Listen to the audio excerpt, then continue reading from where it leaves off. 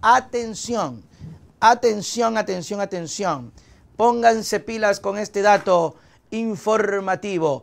El impuesto a la salida de divisas empieza a bajar según lo decretado por el gobierno y, y las personas que quieren su platita fuera del país no pueden estar más que felices con el presidente de la República, Guillermo Lazo. Por eso siempre han mencionado el tema de que el presidente no gobierna para el pueblo, sino gobierna para sus panas, para este círculo eh, pequeño. Así que sigue reduciéndose el tema del impuesto a la salida de divisas. El ISD que fue, si no me equivoco, en la época de Correa implantado. ¿Por qué era importante o por qué es necesario este impuesto? Primero, porque nadie te está diciendo que no saques tu plata.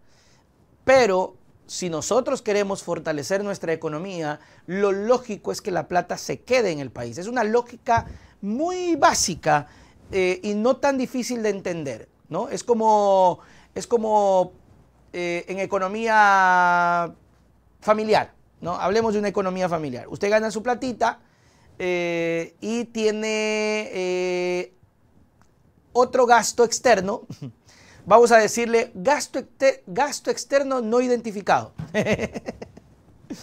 y usted su sueldo, en lugar de dejarlo en su casa, ¿verdad? Eh, usted eh, lo manda a ese gasto externo no identificado.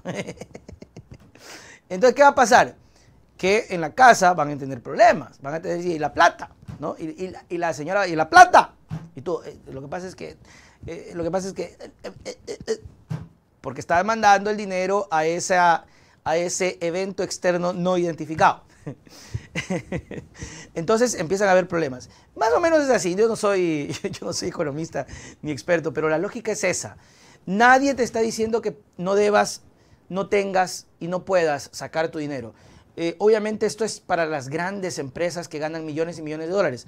Eh, imagínate uno ganándose su platito, va decir afrentosamente, bueno, me voy a sentir millonario y voy a sacar la plata a otro lado. No me importa dónde, pero me quiero sentir importante. Ok, pero antes pagabas un impuesto.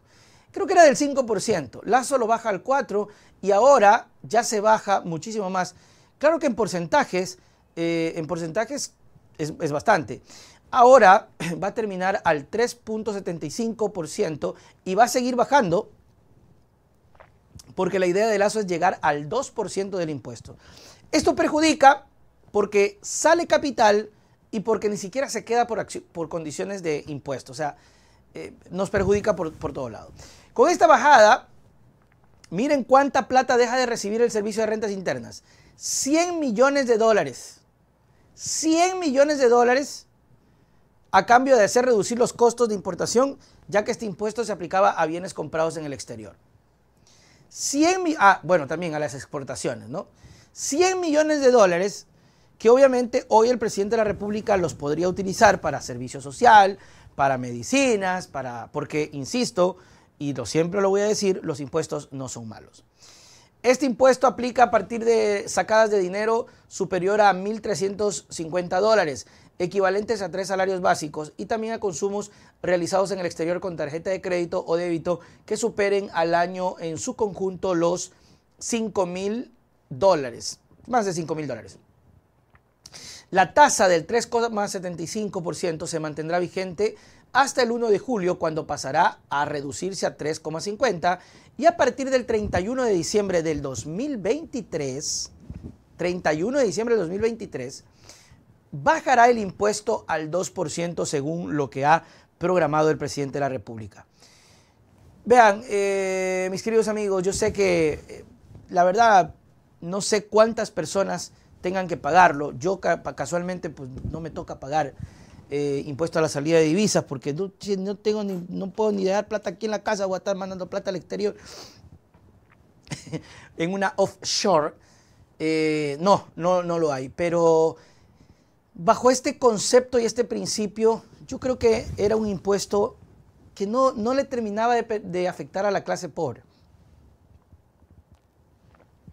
ni a la clase media no le terminaba de afectar. No entiendo y no entenderé por qué el presidente de la República, bueno, sí entiendo, a los panas, a los yuntas, inclusive a él mismo. Acuérdense el impuesto a la, herencia.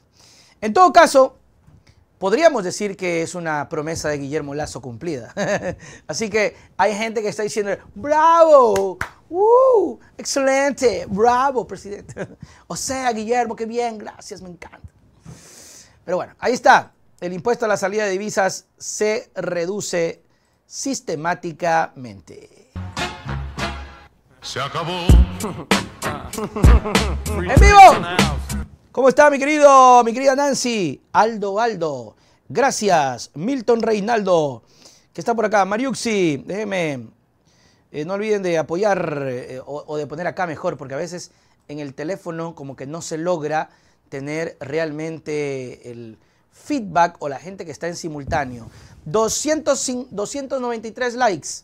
¿Ah? Podemos más, podemos más. Pedro Julio dice, Piyolín, ya no guardo en el banco, dice, en el colchón, en el colchón back. Yo también tengo en el, no en el, con- en el colchón, pero sí tengo mi, mi alcancía. Sí, ahí es- este, estoy ahí reuniendo poquito a poquito, poquito a poquito. Claro, es bueno, por cualquier cosa, ahí está la alcancía. Eh, estoy esperando, no, no, el, rato que, ocurra una emergencia. Yo, creo, no sé, no, yo creo que el dinero siempre es importante, porque si no, ¿cómo sobrevivimos? Pero la utilidad más importante es eh, eh, tener como, como ese seguro para cualquier enfermedad o contratiempo. No sé, es mi concepto del dinero. Creo que el dinero sirve para todo, pero si el dinero no me sirve para ayudar a un familiar, para ayudar a alguien, para salir de una desgracia, para ayudar a quien está pasando por algún tipo de molestia, eh, de enfermedad, sea mi familia, mm, sentiría como que no me sirve para nada eh, eh, el dinero. Má- Más allá de, de- de que, vamos, hay que pagar la luz, hay que comprar la comida, hay que merendar, hay que, hay que, hay que hacer todas las cosas, hay que ponerle gasolina al carro. Pero más allá de eso, si la plata no sirve para estas cosas que les digo, para, un, para una cosa de, enfermedad eh, o un contratiempo, pues para mí no sirve para nada.